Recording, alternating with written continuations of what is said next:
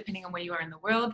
My name is Brittany, and I have the pleasure of joining you today uh, to talk to you a little bit about my experience, uh, both running uh, and operating a, a, business called Design Thinking Japan. So there's a lot to do with that. We do a lot of work in innovation and design thinking and creating uh, new business opportunities for our Japanese clients. But on top of that, uh, it's been I've been in Japan on and off since 2005, so I definitely have a, a journey that I'd like to share with you all as well. All right, awesome. So perfect. Thank you, Brittany. So we always start the show with a quote from our guest speaker. Brittany, do you have a quote? I'm one of these people that I use it as a toolbox. I don't have that kind of like one particular I one particular quote, but anything that highlights resilience for me is one of the things that's really important. So sometimes I need like a resilient quote that's equivalent to like an Eminem song. That sometimes I need like that mode, that I need that kind of resilience. And then other times I need more of like a centered quote, you know, like the Japanese, you know, seven, fall down seven times, get up eight. So anything around resilience and then, you know, have your, depending on who it's from, uh, you know, can help you through the, uh, a particular phase. I love that. So how do you think uh, resilience has helped you in your life? Sure one one thing because i haven't been on this kind of uh, mode of podcast where it's more than one person. All right. I, can i ask anyone who's in a position to turn on their camera please turn it on? And i know in japan they don't love to turn on their cameras. I know our clients aren't camera people. I get it. And if you're like oh my gosh I've got into like the Japanese mode of not turning on my camera. That's totally fine. Um, I that's totally fine. Because I think and you don't I think you could just um, record you and I anyway, right? Or do you record everyone? Well, um, we record the people that speak, but um, okay. Well, then let's just just for clarification, if you're okay with being recorded, turn on your camera. If you're not okay with it, that's totally fine. Don't turn it on. Another thing is if something comes up along the way that you want to talk about, use our chat as kind of like a memo board that you like for yourself, and we can go and we can check it. So just to make sure that everyone knows how to use it, can you just say like what I'm doing now? Like for example, I'm just saying, hi, it's Brittany. So everyone go in the chat and write it. Because for me, a blank chat is the equivalent of a blank white page, right? Where people like, ooh, I don't want to touch it. So I've already written in it. I've already made the white page imperfect. So anyone else, you, you can free and go ahead and uh, do that as well. Okay, um, now on that, oh, I have some some faces that I recognize. That's very exciting. So talking about how's resilience helped me in my life. Resilience uh, is the foundation for for really anything. I know people talk about motivation. People talk about being inspired, um, but that is the first step for me because there's going to be times in your journey, particularly in Japan, where it's going to be difficult. It's not difficult because people are against you, it's difficult because the situation is new. It's difficult because you haven't done it before. Right. And which is totally fine because maybe, you know, you haven't started a business in Japan before. Maybe this is the first time. Maybe this is the first time you're working in a particular industry. So things being hard don't necessarily mean they're not achievable. It just means that if you haven't done it before, right? So the more that we do it, the better it gets. So for me, uh, resilience is really that driver behind the, that those motivations or those dreams that I have that I want to see come true in the world. For me, they, they don't come true without resilience. I see, I see. That's perfect. Resilience, you know, to be strong in the face of adversity how does that help you as a person like if you have a difficulty you face it it's difficult definitely but mm-hmm. does it make you better does it make you stronger like what do you think well this is a really interesting and it's kind of where almost my work begins to come in which is that you understand that the problem and the person are different so the fact that you haven't been able to set up a business or the fact that you uh, haven't been able to sell a particular product or things like that actually doesn't have anything to do with you. So what we need to do is go and take a very almost uh, an equally balanced logical view. So being okay, what's going on? Let's get into the facts with an empathetic view, which means okay, empathy is the idea that it's not necessarily sympathy. Sympathy, the difference between sympathy and empathy is kind of like, you know, if someone says, oh i lost my job and you go oh i'm so sorry for you right? That's sympathy. Mm-hmm. You're like doesn't make you feel good. Empathy is oh my god that's terrible. That's happened to me before. If there's anything i can do let me know right? So the difference between empathy and sympathy is someone is someone's kind of looking down on you and the other one is i know it i've had that before you know? So what we try to do in both design thinking and also in the idea of, of, of resilience is we separate the problem into facts and then also people. So we can you can really start working with it. I think people get caught up particularly in japan where you think the reason you're not succeeding is because of you as a person. I'm not doing this. They're not accepting me right whereas really um, and, uh, and many people on the call can vouch for this it's really maybe you're missing a step in your process. Maybe you lodged the wrong form. Maybe you know so things like that. So resilience enables me to see uh, the problem and me as a person separately and right? And so when you do that gives you a little bit more motivation to be able to move forward. Mm-hmm. wow that's beautiful. I love it. So you you were talking about logic mm-hmm. and then looking at people in an empathetic way. How do you balance that you know having that logical part of yourself while solving a problem while at the same time you know thinking about other people? How do you balance that? Sure. So there's many there's there's a whole bunch of ways but maybe we can even start talking about our um, you know one of the things that we mentioned while we were advertising the talk which is about having divergent and convergent conversations so everyone can you in your zoom uh, button, there's like a clap, right? And then there's also a thumbs up. So I'm going to give you the option. You can use either one, and I'm going to pose a question to you. So the question is Has anyone been in a meeting uh, where you've had an idea, right? And your boss or your colleague has said, Oh, no, it's not going to work. And you go, Okay, what about this idea? And they go, No, we've done it before, and you know, that's not going to work either. Okay, what about this idea? No, we've tried that and it's also not, to work. Has anyone had this experience? Can you give me a thumbs up or a clap? You get to choose if you want a thumbs up or if you want a clap. Okay, so we've had a few people with that same experience. Now I also want to talk about imagine we've got at one hour, right? We've got one hour to make a decision and we've spent 55 minutes discussing, discussing, discussing, and then finally we make a call and has like finally like we're finally wrapping up this meeting and then I put up my hand and I go, actually, Anha, can we please go back to the beginning?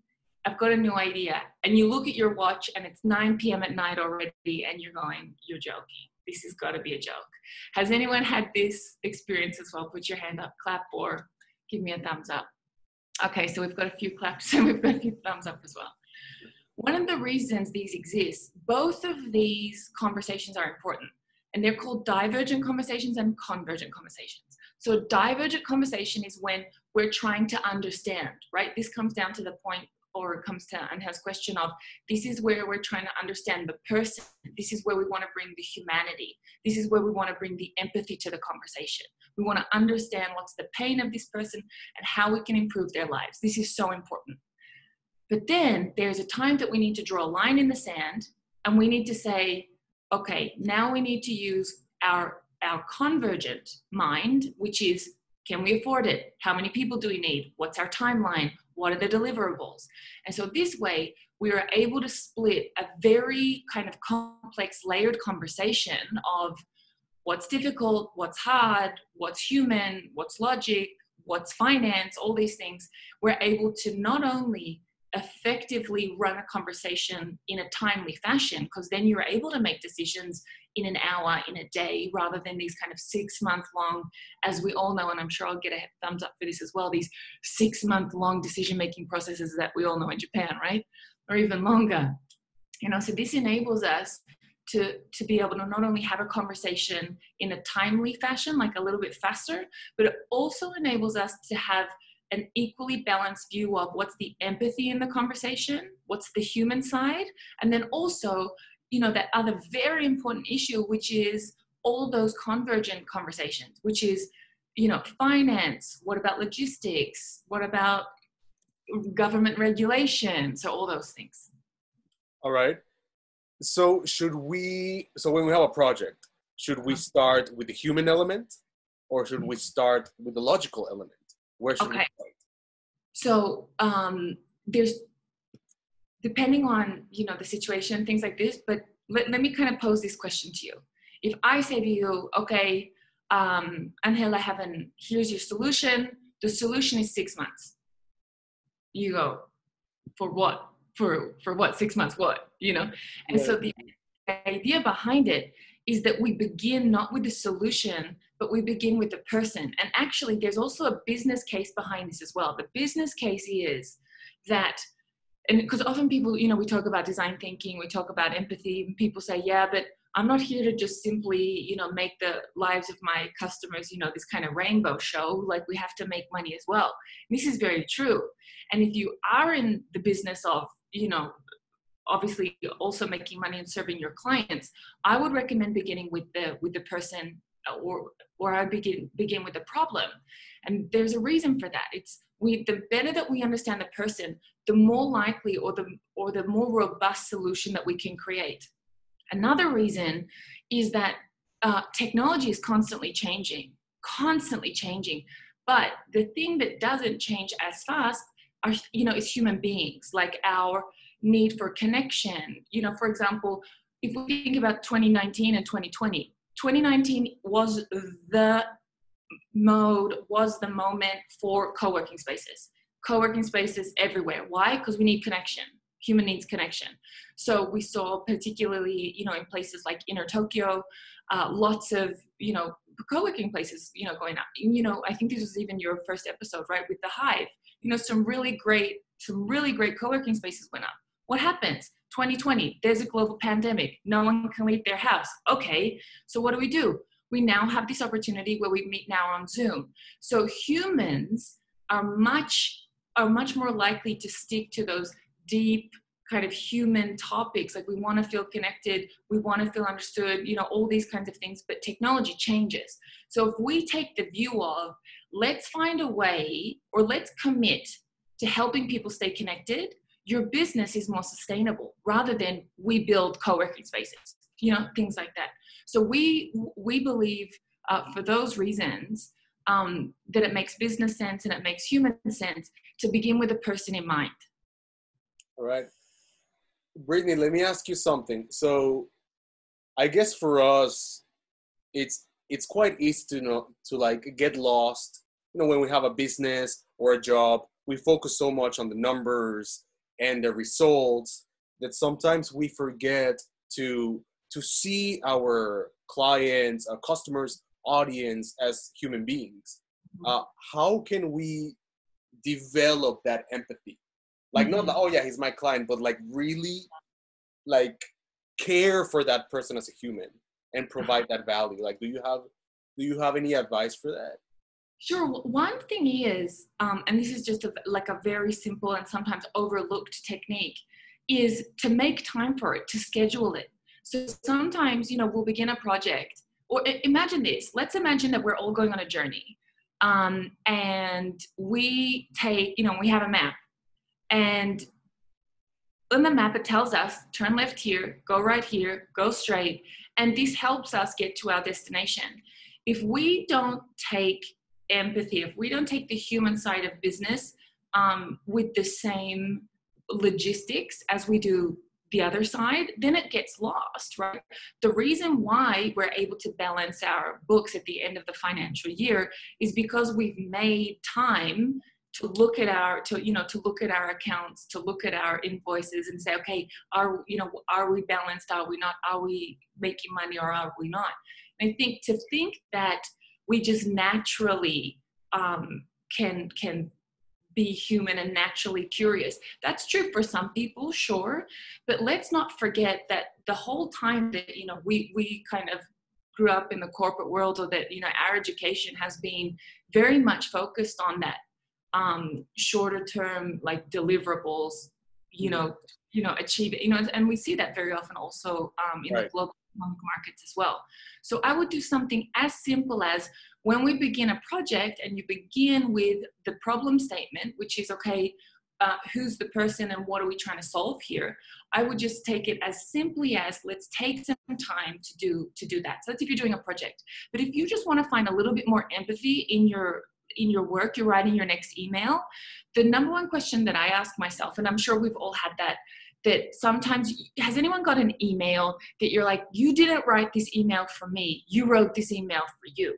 This email isn't to give me information. This email is to make you look smart. And it doesn't make me feel good right? Has anyone ever received an email like that? You know and so it's little things like that. It's the idea that just if you're sitting down and you're you're writing your next email think am i replying to this person for them or for me right? And so when we start when we start operating start thinking a little bit and creating these kind of almost flag posts along the way to mm. remind ourselves it's the same reason. We have a natural flag you know we have a natural flag in our body which is if we're hungry we get this feeling right? So what we need to do is if we, you know with our businesses we need to create those kind of artificial flag flagpoles. And then once you get used to it you kind of like develop this idea and it almost becomes routine the same way that you look at your watch and you're like 12:30 I'm probably hungry you know what I mean? So things like that. So I would just do something as simple as just making time for it and just being aware about it. All right all right. Wow I love that I love that so much. And uh I think a question that I want to ask you is do you have a concrete example of a company that's successful because they implement this empathy towards mm-hmm. their customers mm-hmm.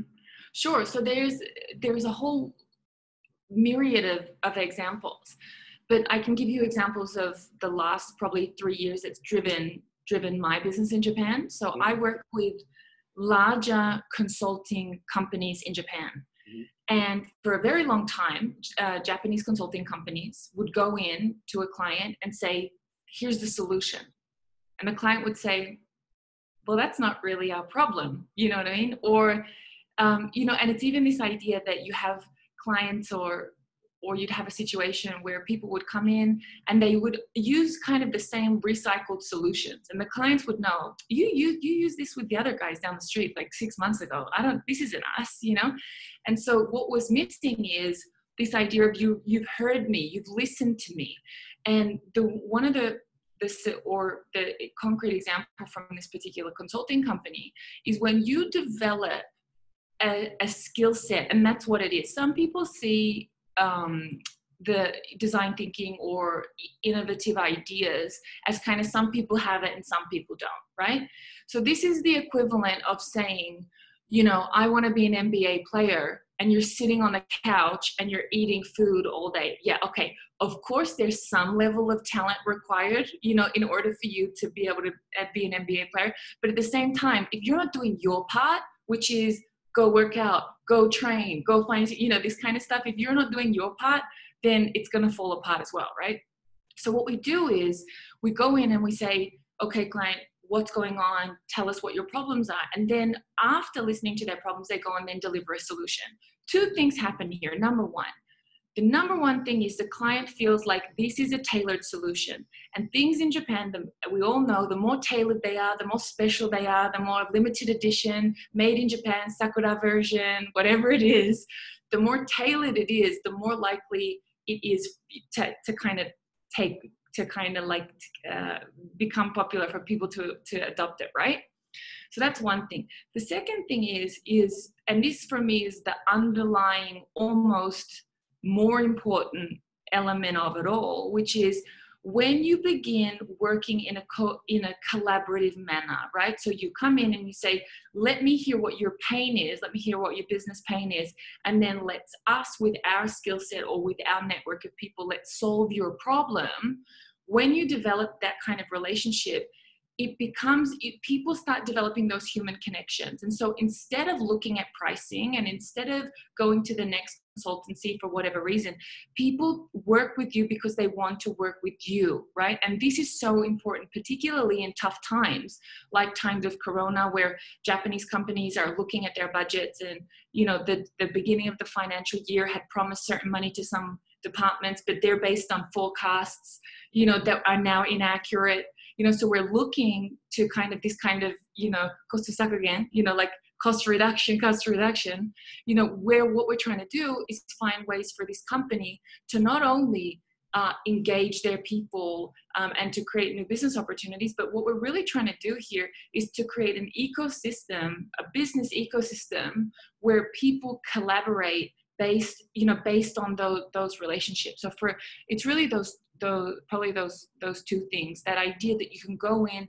and create a tailored solution that really meets the real needs the current needs of your client but also at the same time that second thing which is that that ability to when you're working with someone that you develop such you develop so much more of a deep relationship and it takes the guesswork out of it as well mm-hmm. you said uh, collaboration mm-hmm. How can we create that culture of collaboration when we have people from different countries mm-hmm. people that speak different languages. For example, my first language is Spanish, right? Mm-hmm. Or maybe someone else says Japanese. Our cultures are different, our perspectives are different. I know you have lived in Australia, uh, in Germany, in Japan, and now in Mexico. How do you create that? That you know, collaborative culture where you know people can be themselves and keep their cultures, but at the same time work together. Sure.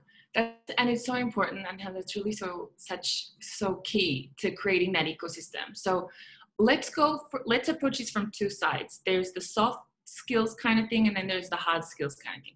So let's begin from the soft skills. So the soft skills side is we live in a world where there is no clear answer to anything hmm. no one really knows there's the problems are getting more complex by the minute um, and what we need is we need a diverse set of people approaching problems. So the, the number one thing in order for us to build an ecosystem of collaboration is a respect that everybody can bring something to the table, right? And so if you're thinking secretly, right, secretly deep down, you're like, I think I can solve this.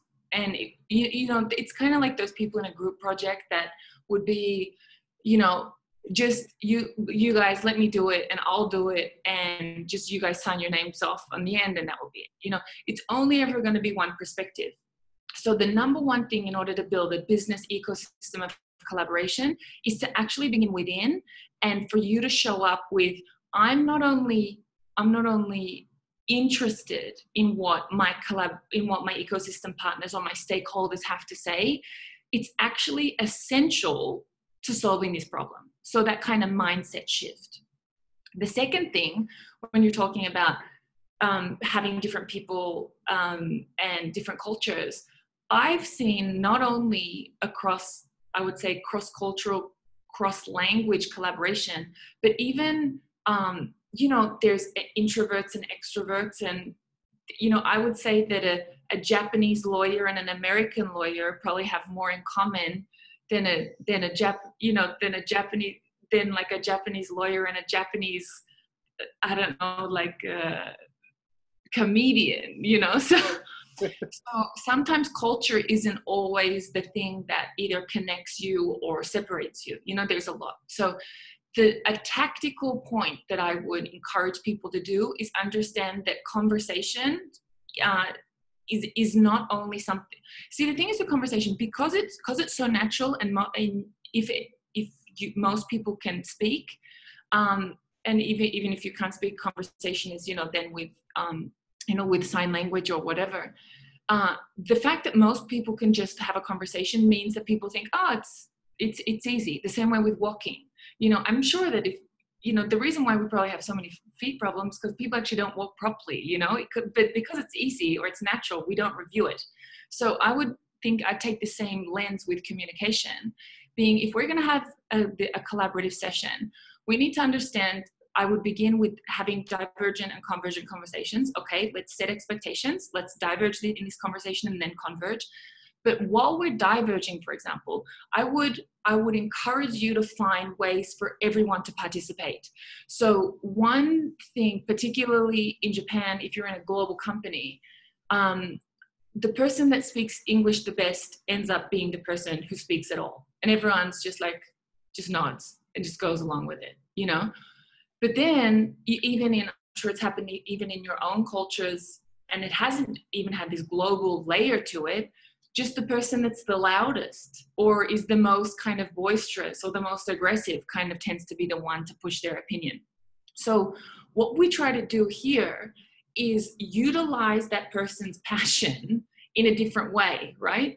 And so, a, a, really simple step is that when you're in ideation or you're asking for feedback or you're asking for questions, instead of saying raise your hand or posing it to the group and you say, does anyone have any questions? What you do is, is you say, okay, everyone, there's a pen and a paper, you know, and a post-it in front of you. Everyone write down your top three points or your top three questions or your top three whatever. And two two really interesting things happen. One you are never able to get as much output in like a three minute period than if you, you separate individual and group work. If you if we have three minutes it's probably maximum two people could ask a question right max. But if we have three minutes and we say everyone write it down all of a sudden instead of having this one-to-one communication we have one-to-end communication. Mm-hmm. then you start to see what's the real temperature of the room. What are people really asking? So maybe the person that ha- you know is the loudest isn't necessarily representative of the group right? Maybe the group is you know has more has you know wants to ask more about question a but the loudest person won't shut up about point b you know so stuff like that so I would encourage to create this collaborative ecosystem to not to to develop a mindset that you don't need to have all the all the solutions. And we see this particularly kind of in Japan, this commitment to perfectionism, this commitment of I can't go to my client if it's imperfect, right? This kind of mindset. But it's not about going to your client with, you know, shoddy work. It's going to your client with with a and with a with a prototype you know, for development. And you know what we've seen time and time again, especially in Japan, is when you when you deliver something and it's kind of too perfect, right? The client won't give you feedback because they think しょうがない、しょうがない、しょうがない、もうやってくれたからもうしょうがない。Like it's you already did it, so I won't bother saying anything, you know? So what we want to do is we want to show the client that we're still interested in learning. We want their feedback. And this is very much on our side to think about how do we present our work, right? So we want to have that mindset, but we've got to think about how we present our work. And then very much in the in the implementation side of things, uh, definitely have divergent and convergent conversations. And um, number two, write things down don't discuss it write things down and then we get uh, we get everybody's voice. You know we can capture everybody's voice. And this comes this comes down to that that seed of innovation. Why do we need everyone's voice? Because every single person in the logistics chain is an expert in their department right? So we need everyone's input in order for us to build these robust solutions. Amazing I love that. I love that. I'm speechless. so, Ridley, uh, let me ask you something. So, uh, you know, Japanese culture is very hierarchical. Very hierarchical. Yep. Um, let's say, you know, I have my own business mm-hmm. and I have my Japanese employees, and I want them to be a little more assertive, you know, mm-hmm. a little bit more confident, uh, saying their opinions, a little bit more comfortable working with me because you know in Latin America, like we're loud, we're passionate, we're very straightforward, as as you know, because you live in Mexico. Uh, how how can I do that with my uh, you know working with Japanese uh, people? Yes. So the the obviously there's different approaches. There's different right. approaches. Um, not but what I found to be uh, effective without massive cultural transformation without like a whole organizational transformational package right which can take years.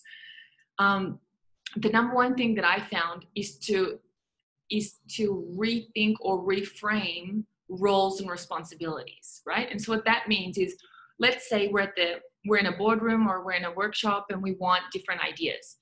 Rather than saying okay everyone we're all equal right? We're all equal. Me, no, minonaji. Everyone's the same. This doesn't work because people are like, well, we're not really the same because you're super important or you're really not important or whatever. What I found that's not effective. We're all the same is not effective. What I found is you, we're all experts in our fields or in our role, and we need you to speak up in that role. So if I'm the CEO, I'm an expert in being the CEO of our company. So I'm going to I'm going to give ideas from my position. But if you're like a Shinyu Shain, like you're a new graduate to our company, then you have a different lens. So what we want you to do is show up as the Shinyu Shain lens or the Shinyu Shain voice. So that everyone's represented. So rather than saying we're all this one kind of beige person in our company, it's no, we're these strong, different, like you're orange and I'm yellow and you're green and I, whatever, someone else is blue.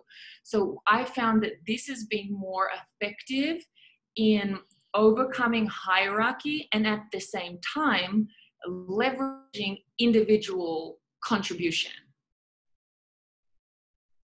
Got it, got it. So to have that balance between exactly. hierarchy and their respect, but at the same time, people have their own individuality. Yeah, exactly. So you'll right. never find you'll never find this kind of okay. It's just so some one thing that I've seen is like you'll have like a foreign um uh, like uh, the workshop facilitator, right? You have a foreign workshop facilitator, and they'll be like, "Okay, everyone, ever today's first names right? Today's first names. And they're like, Japanese people have never called their boss their first name in their entire life. You know what I mean? Like, right, and this right. totally freaks them out, right? Totally freaks them out. So w- what we've got to do is we've got to find ways that instead of saying we're all equal, is to is to work and you know, and this is so much the mo- the the motto of how we run workshops, which is how do we respect those kind of guidelines of Japanese culture but also leverage or take away the the barriers to collaboration right? Because as much as japanese culture um, is uh, you know is is very unique and it's a very beautiful culture in many ways there are certain things about those wonderful things about japanese culture like ha- harmony and things like that that stop certain parts of you know business innovation. Like one thing about business innovation is we need to take risks. You know we need to trial something. It has to be you know it has you know it doesn't have to be perfect. So th- these kinds of things um and sometimes these are these are inconsistent with with japanese kind of values. And so what we want to do is find a way that we we we help our participants feel comfortable and feel safe right? It's always about them feeling safe and feeling authentic. Like there's nothing less authentic than getting everyone in Japan to call them by their first names and they've never used it a day in their life. And tomorrow when they go back to the office, they're no longer, you know, you know, whatever Hiroyuki, they're like back to Tanaka-san or whatever, you know what I mean? So it doesn't make any sense being like, just for these two hours, let's be friends. friends. Like, come on. What we're trying to do is create sustainable change or sustainable systems within Japan and kind of these taking you know and this is why when when you introduced your your your values for, for the community I, I really like the fact that it was to find the balance right? It's you know that we love japan um, you know as as a community but at the same time we understand that there's certain elements that maybe we need to tweak or there's elements about the japanese culture that we need to understand in order to move forward. And getting you know and kind of circling back is as much as that kind of the nail that sticks out gets hammered down mentality as much as that's very true well instead of taking the idea that everyone's the same because they're lower let's take the idea that everyone's the same because they're higher they're a higher position. So we elevate people to an expert role.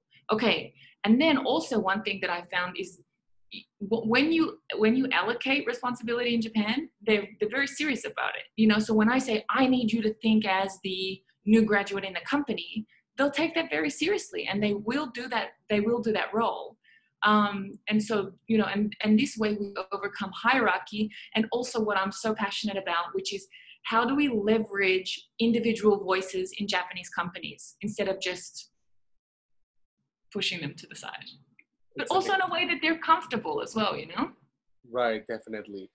I like how you brought individuality And something that we talked in our brainstorming session is the practical, how would you say, uh, the practical benefit of being yourself in a company. Um, so you know, we know that Japan is you know a very hierarchical uh, country, especially in business. Uh, and being yourself, it's something that's you know it, it's not as accept as accepted as in America. I remember when I was working for uh, a Japanese company, uh, one of the things they told me is, "Why do you smile so much?" or, like, or like, "Why do you stand up so straight?" Or "Why is your eye contact so good?" You understand? Which was very like bizarre for me, but it is what it is. Uh, how can I use that, like being myself, mm-hmm. to keep my essence mm-hmm. as as a practical benefit to, you know, mm-hmm. to improve the company, to bring value to the company. Sure, and maybe if we take like a foreign lens, space and w- one of the reasons why you are working with your client or you're working with you're working in this company is because of your ability to contribute right? So and one thing that i've also found is that there's a level of misunderstanding about japan just wants you to shut up as a foreigner. Mm-hmm. i haven't found that to be the case. What i have found to be the case is your role is to not go in and say, okay, guys, that's one culture. Let me tell you about my culture. And then let's change to that. Right. And because that's kind of where I found a little bit there's a conflict that people will come in and say, okay, Japan, your hierarchy, it's a bad idea. Get rid of it. Let's change to what we do, you know?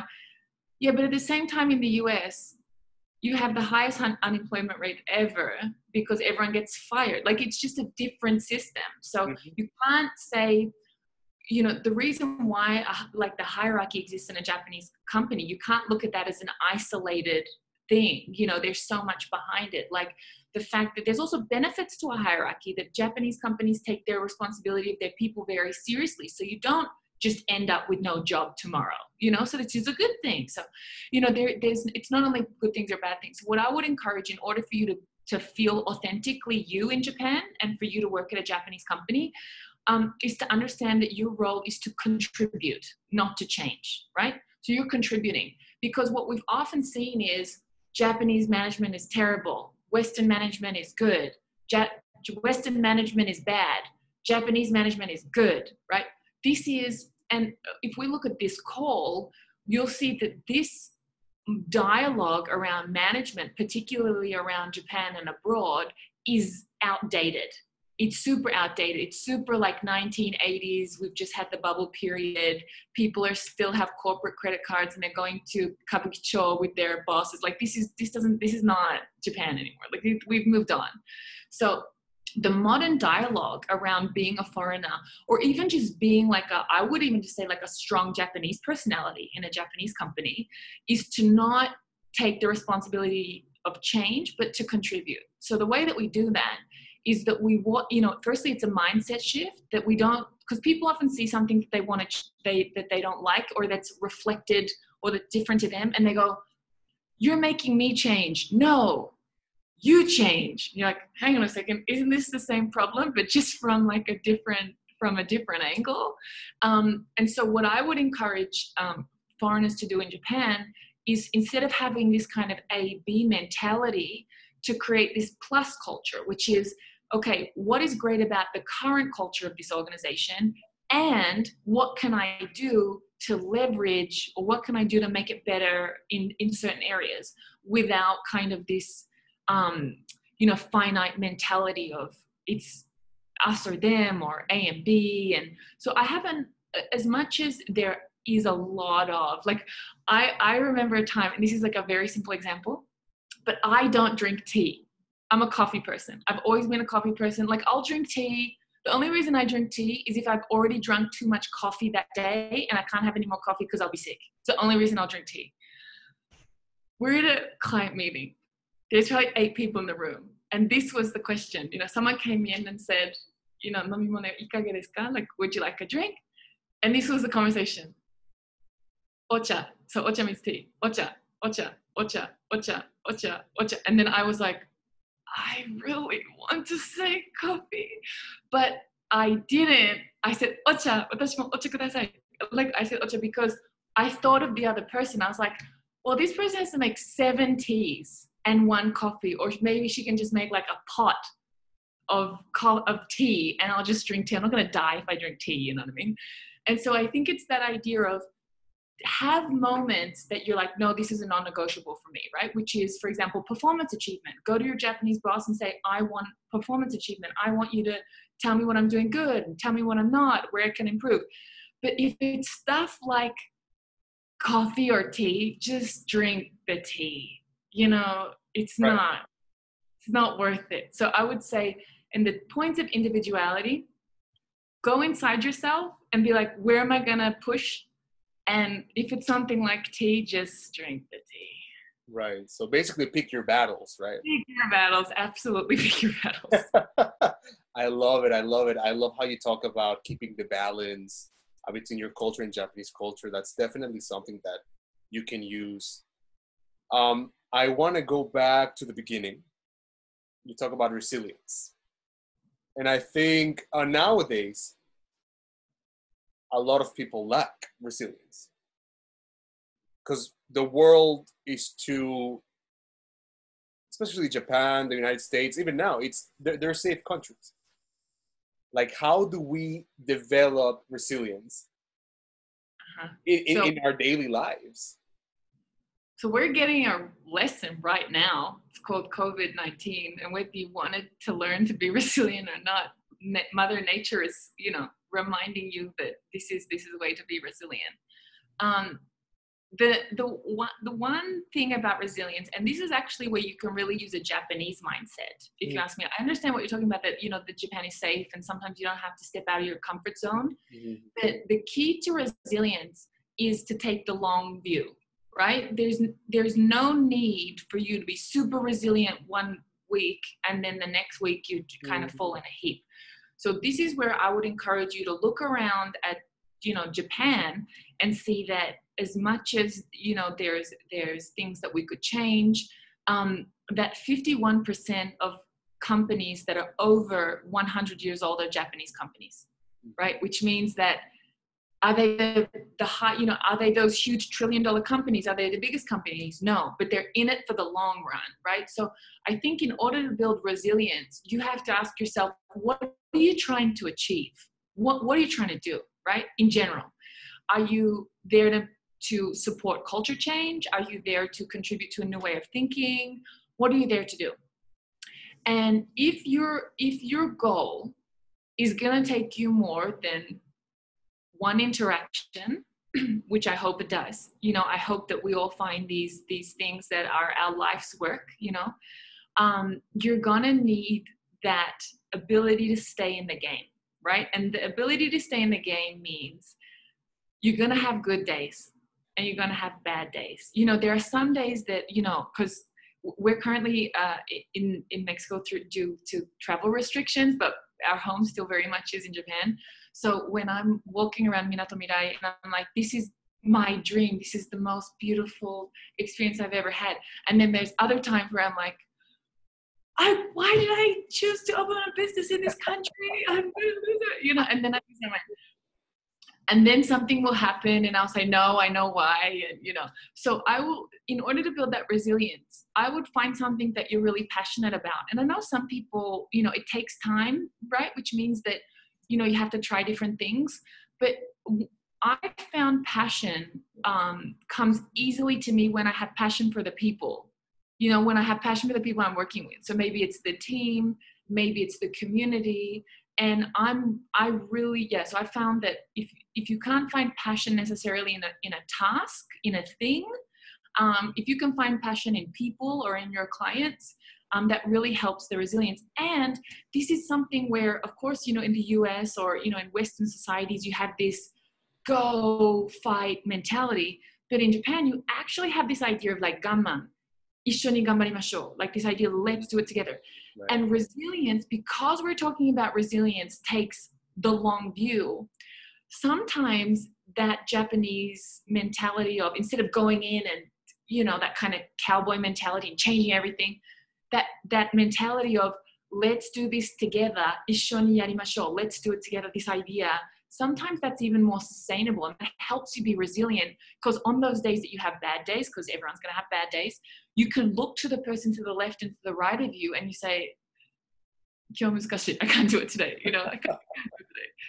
So I will I would encourage yeah th- those things. Find passion in people if you can't find it in a task. Um, and then also you know leverage everyone here being kind of bicultural people. Leverage those things in you like Angel with you. You know you have your like Latin American kind of like passion and fire but at the same time you also have like your ability to to read a room like from Japan.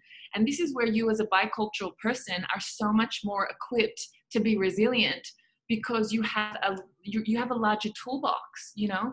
And it's the same way that if you're just a Jap- if you're you know a monocultural japanese person um, maybe you don't have that kind of you know you want to stand up and say what you, you think you know? But at the same time if you're a monocultural western person maybe you don't have the respect for your environment right? So us here on the call um, you know i've had the pleasure of, of meeting a few people on the call um, that ability that you know having that that bicultural sometimes tricultural perspective just puts you in in such a better position to be able to weather weather the storm. Beautiful beautiful. The last question i want to ask you. How do you adapt to germany to japan to mexico? Because you're so different. How how do you adapt? Yeah um so the thing is i will never know how to be japanese right? Because mm. i i it's something that you can you can't really learn it right? There's you, you can't you can't really learn it. Same way that i can never learn to be german. So one of the things that um that i that i've done is instead of looking at that kind of idea of who what's this culture I kind of take the, the, the design thinking view, which is what is the people? What can I learn here? What can I contribute? And so for me, it's more it's it's less of like of course there's stuff like in Japan like take your meishi and bow and you know there's there's those things um, but I think the number one thing in terms of cultural the ability to, to build bridges in culture um, is less I would say in the logistics, like do this, don't do that. In Germany, people are, you know, people are rude. No, they're not. They're just direct, like whatever.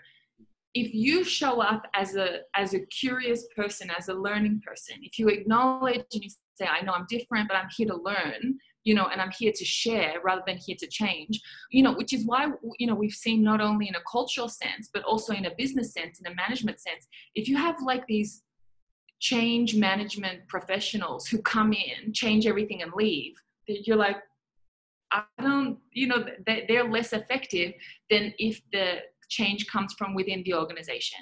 And I would say that's still very, that's that's very true to to adapting to culture is don't worry about trying to get the culture perfect. You're never going to get the culture perfect because you're not that culture. It's not going to happen. But what you can do in order to make your life a little bit easier, in order for you to build those meaningful relationships, is that you can go in and you can say things like, I'm here to learn, or, uh, you know, this was different. And so, for example, I saw a, a question on the question which was you know what do you do when you're trying to be yourself or you you know but it's it's it comes across poorly or it comes across comes across rude so i think as if you're if you're coming with a learning perspective, if you're coming with a learning mindset, if you're coming with a sharing mindset, um, I think people will, will, will pick up on that. I think it's different. Like a, a very simple example, and I, I, I almost cringe to, to use it because we have so many very experienced and educated people on the call. Is for example, even when we greet each other in Japan, like Japanese people don't bow, they don't hug they bow, right? And so I've seen I've seen people come into Japan and say stuff like, "In my country, we hug, so I'm going to hug you." And I'm like, mm. mm.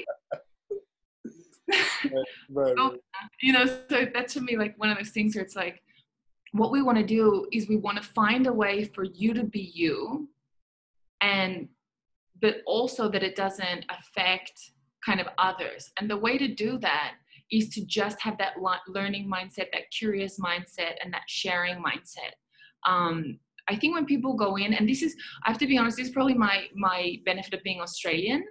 Um, I found if you're from like a like an alpha culture, like i.e. the States or something like that, like these kind of G8. If you're in the G8, if your country is in the G8, I'm my my opinion is kind of like an alpha culture, which means like it's a global culture. Like people don't know anything about Australia. So what I'm so for example, what that means is if you're from these kind of alpha cultures, meaning that it's a it's a very strong culture, sometimes you you grew up thinking it's right.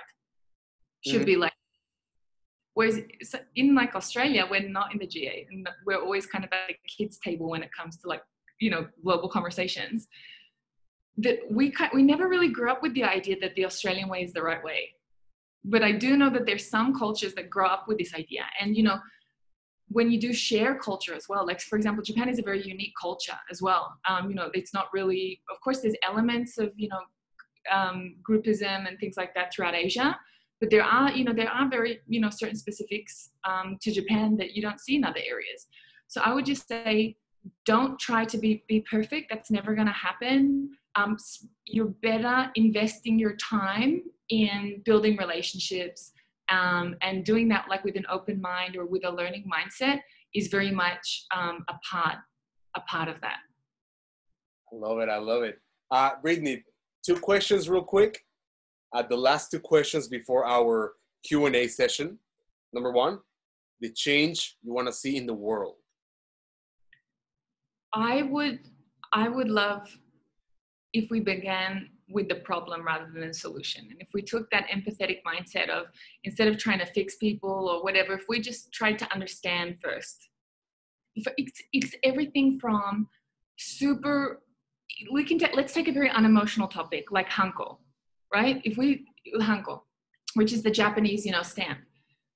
So there, imagine people are saying, get rid of it, it's stupid without having any conversation about why does it exist and if we get rid of it who's going to be affected and how can we help people implement this change so i would love to see that if if we began with a deeper commitment to understanding the person and their and their ecosystem and their and their environment first before we start just throwing kind of cookie cutter solutions at people that are are useless once we leave. Exactly. Empathy. I love it. Your song. Yeah, so my I have a funny song actually. So in my non kind of like business Japanese life, I'm involved in an organization called Rotary International. So I don't know if anyone's heard of Rotary International. It's a service organization, do like community service work. And and two years ago, I had the opportunity to uh, MC there or um, our international convention in Toronto. And there were, it was in front of 25,000 people. And so I was the one lead, leading it. And I, I was able to choose my walk on song, like, you know, the song when you walk yeah, on. Yeah, yeah. And my walk on song was um, Viva la Vida by Coldplay, right? So it's like, dun, dun, dun, you know, and I liked it because, you know, I'm walking onto, on stage in front of 25,000 people. It's kind of like modern, it's got like a modern twist, but also it has kind of like that classic twist as well. And so I was like, I think that's that's gonna be my song. And then during practice, I walk out and in the in the Air Canada Stadium, and um, "Living La Vida Loca" by Ricky Martin is playing. Whoa! And I'm like, what? What's going on? And then I know I was there, and, and luckily at this point, uh, the stadium was empty. And I said, um, this song is just a placeholder, right? And they're like, no, this was your song. And I said, no, my song is not Living La Vida Loca by Ricky Martin. It's Viva La Vida by Coldplay. And I was like, I'm so glad I said something. Otherwise, I would have walked out on stage in front of 25,000 people to Ricky Martin Living La Vida Loca. There's nothing wrong with that song, but it's not my song, you know. It's different. it's completely different. Oh man. Thank you so much, Brittany. That was beautiful. Uh, before we go to our Q&A session, uh, I wanted to thank you for coming into the show and providing your super valuable uh, insights regarding culture and business. Uh, I know you live in Mexico. It's like 4 a.m. right now, like at the moment, right? Six. 6 a.m. So thank you so much for taking the time to, you know, provide that insights. And do you have any last message before the Q&A session? No, I'm I'm a big fan of you know when we have these interactions for that not to be the end of the conversation rather that it be the beginning. Mm-hmm. Um, but I, w- I would just like to thank everyone, yeah, for, for their time and Angel also to you. I think that this is so important uh, to modernize the the dialogue and to humanize the dialogue around entrepreneurship uh, in Japan. Um, and what I particularly enjoy um, about these kinds of new conversations is that it's not a purely Western view and it's not a purely Japanese view. It's this idea that we come together and we collaborate. And I think we're able to do that for a few reasons, but I also think we're finally at a time where young, like professionals in Japan have a level of Japanese fluency. Whereas, you know, I would say in the 80s, if you were a foreign manager in Japan, no one spoke a word of Japanese. You know, everyone was just here on some kind of like global finance company contract and they were here five years and then went home. I think there's a there's a new face of international talent in Japan and it's and it looks like you, you know, which is, you know, you're trilingual actually, you know, you speak not only English and Japanese, um, but also Spanish. So it's the idea that we can come um, and we can contribute uh, to Japan, but also from from you know that base of empathy that we've been talking about today, which is very much um, you know, but in, and empathy drives innovation, it drives business development, um, and it also drives, you know, happier, healthier societies. So I would just like to also thank you and encourage you uh, to keep going on your journey and to keep, you know, having these conversations um, and to keep unmasking uh, and bringing light and showcasing these kinds of uh, stories in Japan. And I hope that uh, this is really the beginning of a new, a new, yeah, a, a new business conversation in Japan definitely. And where can people contact you, find you? Where so, so re- really, most places they'll come to me at the end. So it, you can find me on LinkedIn. Uh, so you search my name, um, and I come up pretty high at the top. Uh, you can also find us uh, if you want to know more about our business at um, designthinkingjapan.com, uh, and we're also on Instagram. Both, yeah. So I, I personally am, and also our company. Um, and so yeah, you can find me. we also have a we also have a, a, podcast which is similar to yours, leading you know modernizing conversations around business in Japan, which is the Business Karaoke podcast. So there's we're we're there. So just search Google and I'll I'll come up somewhere. Sounds beautiful. Thank you, Brittany. Thank you so much. Um, okay, guys, we're gonna go to our Q and A session. I'm gonna give you a minute and a half, two minutes, so that you can think about your questions and just type them down. And then after that, we're going to go by order. And if you want to uh, ask your question personally to Brittany, that's okay. If you don't want to, that's fine too. All right. Please type your questions.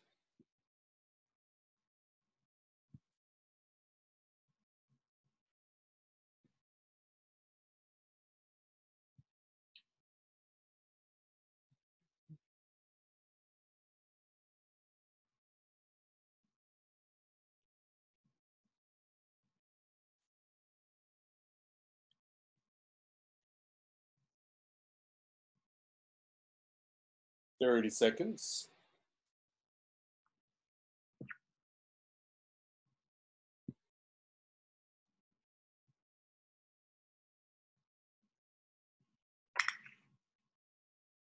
Fifteen.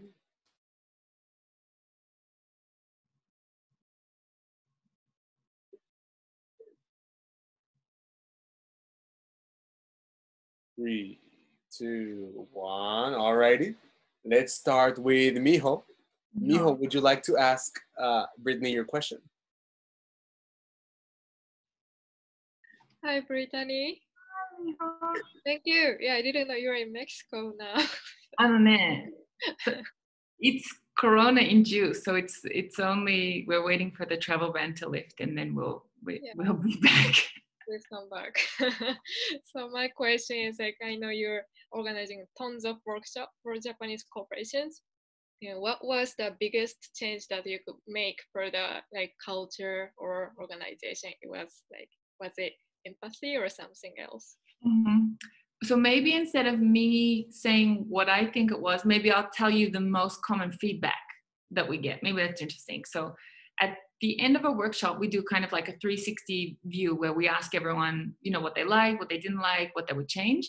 And consistently, the thing that our Japanese participants say that they liked is that they liked the structured group work, that people could speak up, that you know in, when we were in convergence we, you know people weren't saying jikan nai hito ga nai nani naka resource tarinai like we didn't have these kinds of issues so w- without a doubt a more structured way to engage individual opinion. Because people often think japanese people don't like sharing their opinion. For me this is wrong. This is not right. This is too narrow. If they don't like sharing their opinion in an environment where it might negatively affect somebody else that's the case and so we what we do through our design thinking uh, structure is that we encourage a way for everyone to speak up in a way that's safe for them and also kind of harmonic for the room so that's probably the number one thing thank you Hi, Miho, thank you so much. Let's go to Jason. Jason. Hey, how you going? Thanks very much, guys. Uh, Brittany, just a realization I had that uh, the whole theme of this um, webinar and and, business and and your business is innovation, and that that might consciously or unconsciously be um, perceived by Japanese um, whether they're in a foreign or a domestic firm, as as change, immediate change, and the threat of change and risk. Whether they're consciously thinking or, or not. So, uh, in a nutshell, how would you how would you mm-hmm. handle that as someone who wants to introduce innovation, knowing it going in before you open your mouth? What, what, mm-hmm. what would you uh, lead with to try and just dispel that or get people to put that aside? Thank you, Jason. That's such an, an important question um, because it really is the basis of those initial conversations that we have with clients. So if we think about the, the word innovation in Japanese, right, it's innovation, which means it's katakana. So anything katakana means it's an English derived word, which means it doesn't, you know, naturally come from the Japanese language. So any katakana word, you have a certain level of, I would say, like nemawashi required or kind of, you know, lo- lobbyism in a way, like required, mm. you know. And so this is kind of step one. the how, and so once we kind of have this in mind that it that the word innovation brings up, as you said, and think about the innovation, the word innovation, how many misconceptions there are even in English, and think about that in a Japanese setting, and it means something different to everybody, right? So your your connection between innovation and risk and change is 100% spot on. So the way that we manage this is rather than kind of having innovation as this um, this finite process that you know you get right or wrong what we try to do is we draw a, a, a comparison to something that's already very true to or very close to the japanese culture. So and, and in, in an innovation workshop what we do is for two hours or for half a day or a day or however long it is we go in and we do crazy ideas and you know anything goes and we can have fun and we can talk to anyone.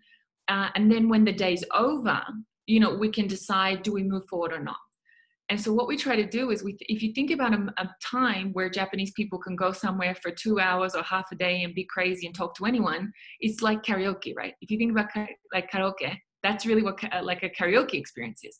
And if we think about the japanese karaoke experience is so essential to the you know to to binding relationships in japan it's essential to even just day-to-day business. So what we try to do is say that innovation is not about that at the end of the day we have the right answer we have the wrong answer and we have to implement all of it or not what we try to do is is we say that innovation is an opportunity for exploration, right? It's an opportunity for exploration. And if we think about who's leading innovation, right? So if we go back to what we've been saying all, all along, which is let's take a step back, let's think about the, the the problem or let's think about the person. If you think about who's responsible for innovation right it's probably usually a japanese manager who is either in their late 50s um, who is who's signing off on like one of these big projects right? So if we think about the in japanese organizations so obviously in foreign organizations it's a little different but let's take a traditional japanese lens on this.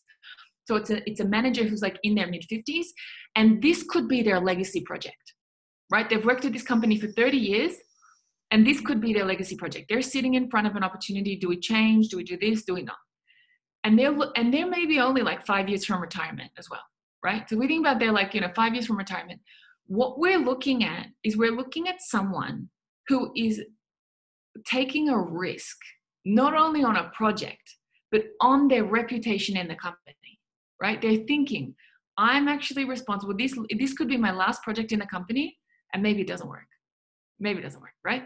So we need to have a level of empathy for that. This American, sorry, I don't mean to say American, but this kind of like Western idea of, you know, fail fast, go in, like whatever. Imagine saying to someone who's worked at a company for 30 years, whose reputation is defined by this next project, fail fast, whatever. It's not, it's not gonna work. It's not, it's not appropriate for that person. It's not appropriate. It's not empathetic. So I'm laughing on mute. You're laughing on mute. I'm, I'm glad. Um, so the the number one thing that I would encourage when it comes to innovation in Japan, the way that we lead conversations is that innovation is a is a chance to explore rather than this thing you get right or wrong.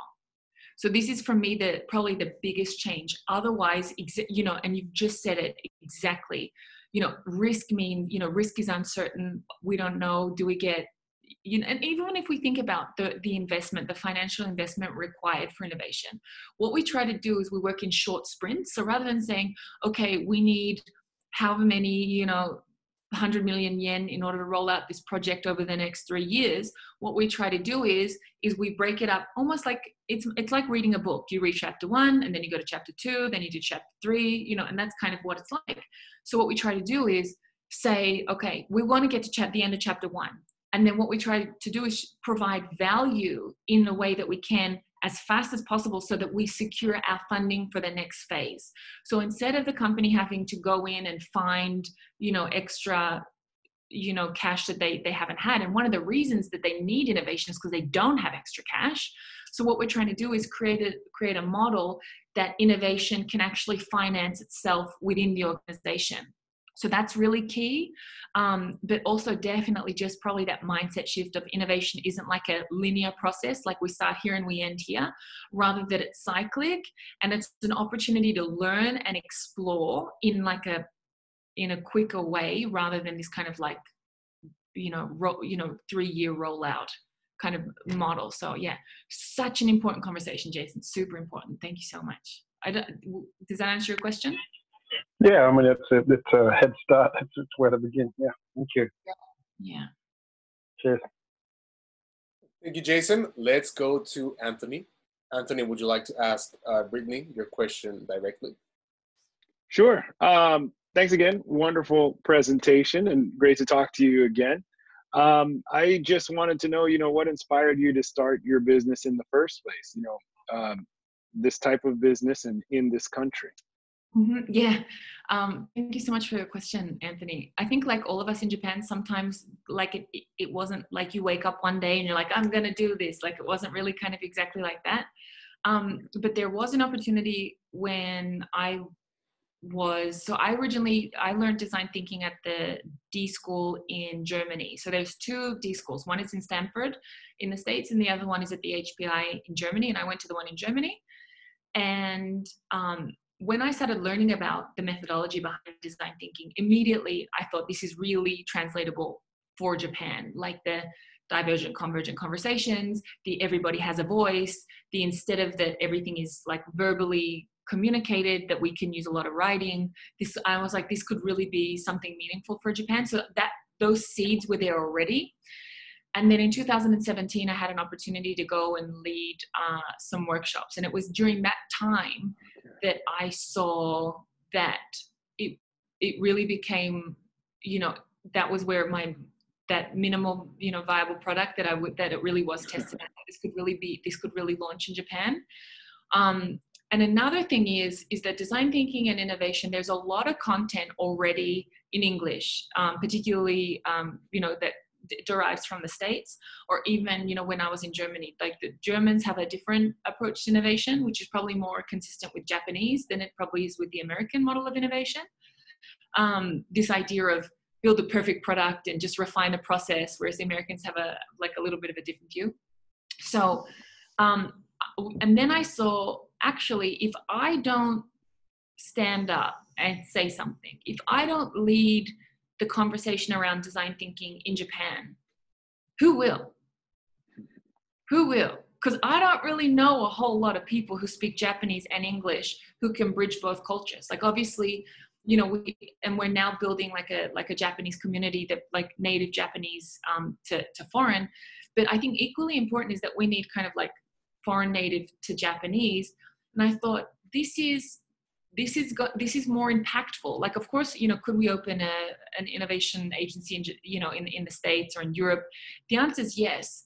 But as much as Japan has, you know, um, high red tape, and if you need to navigate high red tape, then I recommend everyone can call uh, Miho because she, Miho Tanaka of Japan because she's an incredible resource. Um, but I, that's when I started thinking, once we navigate the red tape, behind that could really be opportunity for impact opportunity for change. And so that for me was why i thought okay let's stick with japan um, because firstly i had a proven business case so i think I, I would encourage anyone if you're going to start a business in japan i would encourage you to test your business before you launch because you know we were talking about resilience we're talking about that. Uh, if you don't if you don't believe it can happen because you haven't tested it or if you don't know if you're unsure if it can happen um, it's going to be very difficult to, to navigate the waters uh, of japan which are sometimes very very tough really um, so that was number one. But then I really saw once you manage the paperwork in Japan, once that's done, there's really an opportunity for impact. There's really an opportunity to change. There's really an opportunity to affect people's lives, much more than if I was in the States. Like you can call 10,000 other people who do what I do in the States. You can call 10,000 other people who do what I do, 20,000, 50,000, 100,000, I don't know how many, but like many other people. But if in Japan, I thought I would love to be a part of that, that Er, that first wave of people who are, you know, because we, we've seen in Japan, those conversations exist conversations around um, business development and conversations around um, like workplace reform, right? So we've had these conversations in Japan, but really, what's behind those two things? Innovation. What's behind that? People, empathy, the ability to, you know, to lead those conversations. So I started thinking, of course I, am like the, the I have the usual answer, which I like I love Japan. I love living in Japan. I love like I love it. Drives me crazy, but I still love it. You know, I love it. So that's that's all true. But beyond that, right? Beyond that, the thing that keeps me resilient, the thing that keeps me showing up, the thing that keeps me in Japan is definitely that that view of um, the opportunity for impact. And I think a lot of people kind of shut up shop before they or too early. Um, and even and i just i've just seen so many businesses that if they just held in on just a little longer if they got past the red tape if they did the right paperwork if they you know set themselves up properly that their business could really impact japan could really affect japan in a positive way. Um, but for some reason they you know for, for personal reasons and different reasons people you know had to leave early uh, so for me yeah definitely that the opportunity for impact awesome thank you all right, perfect. Uh, any other questions? Anyone?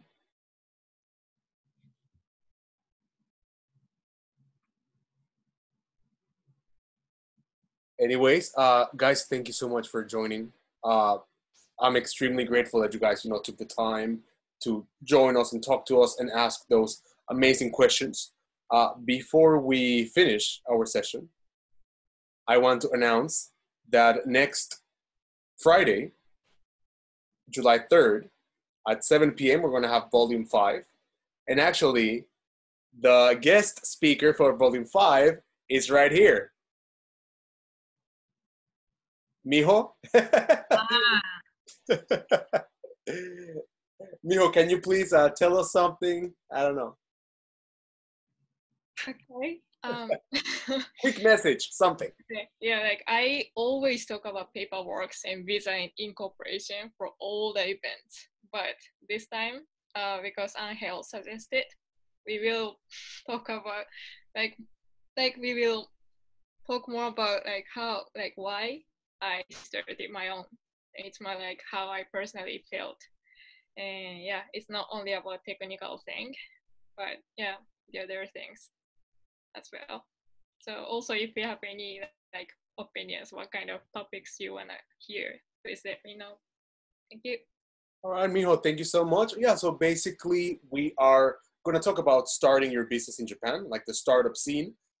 But at the same time, we're going to talk about the self uh, development part that goes with starting your business. Like, how can you improve yourself and get to that mental state so that you can start up your business and then help society? Awesome. And that's it for today. Thank you guys for joining. And we'll see you next week, same time, same Zoom meeting. And that's it, guys. Thank you so much for joining. Thank you so much for having me. And if anyone, uh, go, go over to LinkedIn and um, please connect with me. I'd love to connect with you. So thank you so much for having me, Anha. It was lovely. My pleasure. Yes, thanks, everyone. Bye, guys. Thank, thank you. Thank you for presentation. Thank you. Bye. Bye, guys.